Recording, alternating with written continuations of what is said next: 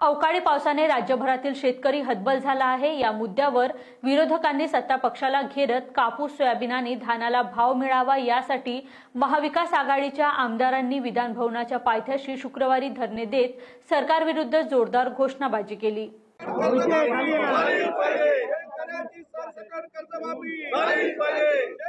कर्जमाफी.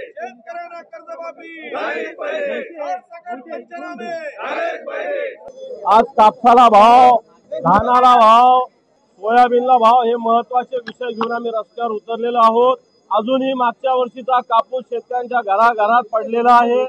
धानाची परिस्थिती तशीच आहे. सोयाबीनची परिस्थिती तशी आहे. सोयाबीन असो कापूस असो याच्यामध्ये सरकारचं आयात निर्यात धोरण शेतकऱ्याच्या मुळावर उठणार आहे. तो कापूस बारा हजार चौदा हजार रुपये क्विंटल पर्यंत गेला होता. तो सहा हजार रुपये क्विंटल पर्यंत झालेला आहे.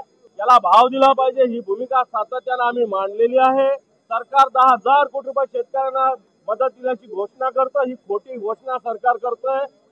दहा हजार कोटी रुपये कोणत्या हेड खाली कोणाला दिले? सरकारने स्पष्ट करावं. फक्त आकडेवारी फेकतय. प्रत्यक्षात देत नाही. आणि मग याचा निषेध आम्ही करतोय सभागृहाच्या बाहेरही करतोय आणि सभागृहात आम्ही करणार आहोत.